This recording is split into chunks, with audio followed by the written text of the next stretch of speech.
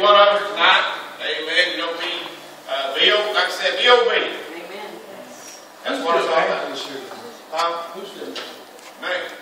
No. No. no. no. yeah, yeah. God bless you for the hand here.